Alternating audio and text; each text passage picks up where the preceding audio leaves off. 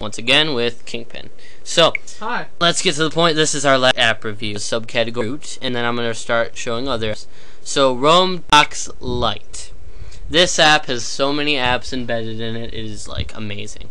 So, uh, let's get down to basics here.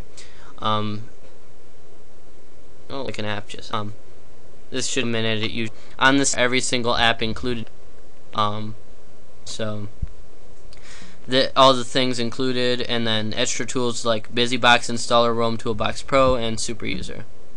Adb wireless as well which i don't know what that means. Uh, then app info change log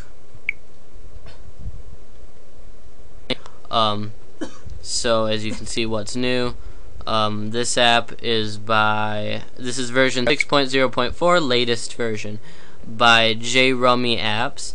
Um, written by Jared Rummler at JRummy16 I think that that's an name. Uh, so tools overview. You have ROM installer scripter terminal emulator DNS changer manager configure Apps to SD and rebooter which boots in every sort of way that you would think. It can shut down your device. It uh, as you can see there. Okay. Uh, you have performance tools, CPU control, kernel tweaks, build prop editor, task manager, and SD booster.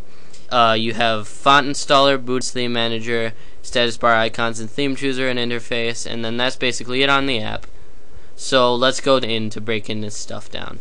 Um, ROM installer, basically the same as the app called ROM installer. Uh, you install ROMs, like manager, and those other apps.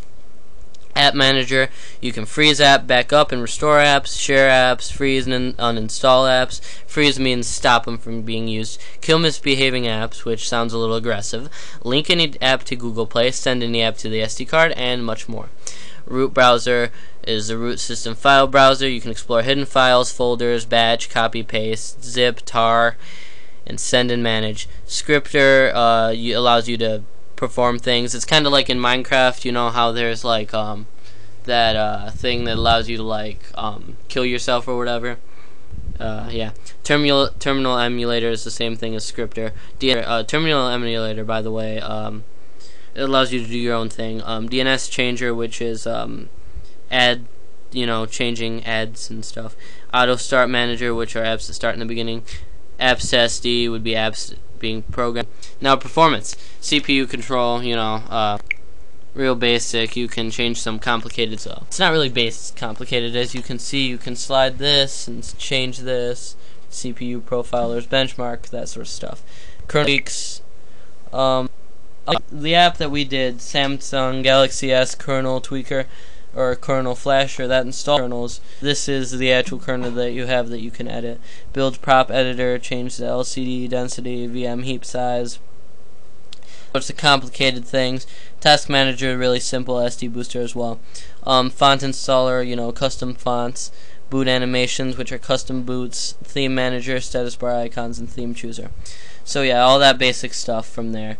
Uh, 10 out of 10 for the app. It's really amazing. Um, well, 9 out of 10 because it's the light version. The pro version's 10 out of 10. So, uh, yeah, check this out if you have Root. Really, it's one of the best apps.